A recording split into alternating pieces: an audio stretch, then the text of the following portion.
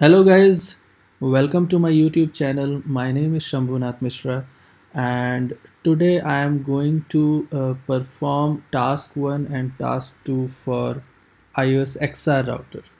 So if you have seen my previous video, it was related with IOS XE routers where I have configured ISIS L1 point-to-point IPv4 adjacency and also ISIS L1 point-to-point IPv6 adjacency. So IOS XE configuration for both of these tasks are done but I need to configure now IOS XR devices. If you have not seen that video, the link is in the description. Please go ahead and watch it. Now let's get started with the IOS XR configurations. There are few differences when we talk about the configuration of ISIS in IOS XE device and IOS XR devices. So let's see how, what are the differences that we have. So I have this IOS XR uh, 3 router which is connected with XR2 and XR1 router. And uh,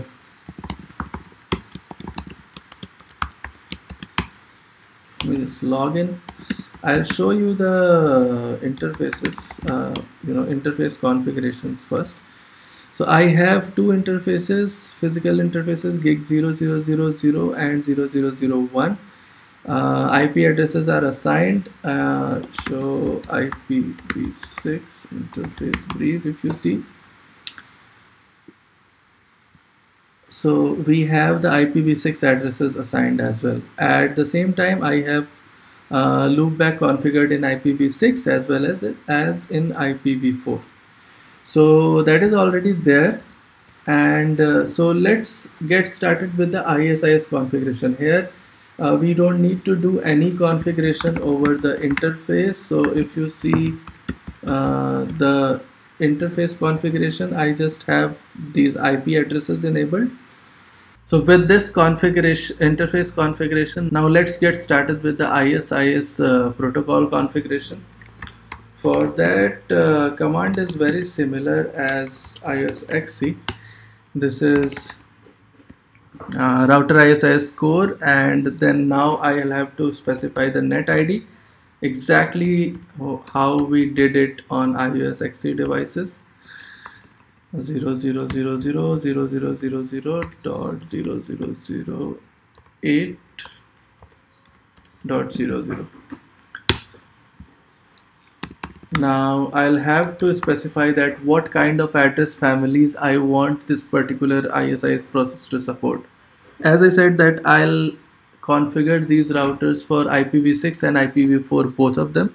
So I'm going to specify IPv4 address family and also IPv6 address family in IPv6 address family basically you need to specify if you are uh, uh, you know going to run single topology or multi topology so the basic difference between single and multi topology is that uh, uh, in single topology for IPv6 and IPv4 both of these address families you will just use a single SPF algorithm uh, but if you are using multi topology it is going to be a different SPF running for IPv4 and IPv6 also in case of single topology you need to have IPv4 and IPv6 addresses configured on the same interfaces. But if you are uh, running the multiple multi topology one uh, what you can do is you can have different interfaces uh, one is dedicated for IPv4 other is, is dedicated for IPv6 so that kind of uh, you know flexibility is there in uh, in multi topology with single topology you cannot do that. If you are uh, having one interface which is configured only for IPv4 not for IPv6 then that is going to black hole uh, the ISIS uh, topology. So that is not going to work in ISIS in single topology sorry so let's get uh, single topology enabled in this. Single topology for this uh, just a single command. Now I am going to get into the interfaces and enable uh, you know address families which they need to support. So in the loopback one interface I need address family IPv4 unicast I also need address family IPv6 unicast. Similarly in gig 0000 I need address family IPv4 unicast and now address family IPv6 unicast. And under the interface I also need to specify circuit type. This is level 1 and uh, the network type is point to point. I think that is all. I'll go into interface gig 0001 interface also which is connecting towards uh, XR2 uh, here also I need to specify address family IPv4 unicast and I'm sorry address family IPv6 unicast circuit type is level 1 it is going to be a point-to-point -point network. Now I think I'll commit this configuration. Let's see if the adjacencies are coming up or not. All right I have committed. There was no mistake in the configuration basically uh, now let's see. Show ISIS adjacencies so I see that I have two ISIS adjacencies for now. Uh, one with 0005 one other is uh, 0007 so 7 is XR1 5 is XR2 so I think I should be good with this configuration. Let me just quickly verify the uh, routing table. So show IP route.